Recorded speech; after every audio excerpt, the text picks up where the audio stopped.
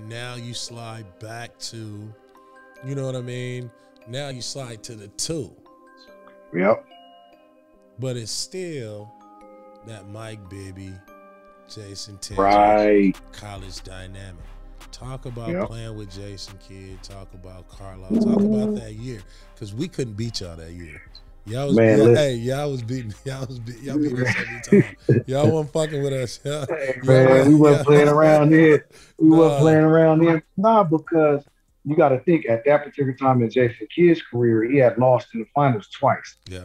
So his his his clock is ticking. He like, man, listen, we coming here, we coming in here to work. So practice now was work. Yeah. Like not saying it wasn't work with Avery and all that, but I'm just saying like now it was it was you looking at like you see a legend, a Hall of Famer like him, and he's still here, and the shit he had to do, we need to get ready for them games, like physically, yeah. like physical therapy, lift, eat right, hydrate, boom, massage, practice, massage again, get shots up. Like the shit he was taking his body through to get ready just to so he can get back to the finals and try to win a championship with a team like we had.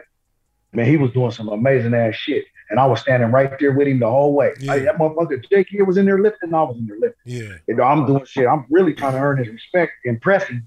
You know, like, nah, I'm serious. Like, cause all the things they heard about me, like to kick it. You, you know what I mean? He, he gonna do his work. He gonna put his work in, but he ain't really.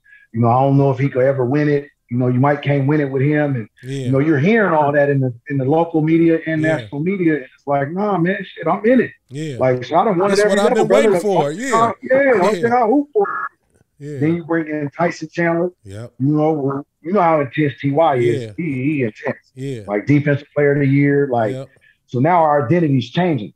J Kidd was strictly on listen, man, buy into the team defense. I know you and Dirk individually ain't gonna stop shit, but if you can give us just a little effort and attention to detail in the game plan, we're gonna get you all the shots you want. Right. Like, don't worry about that.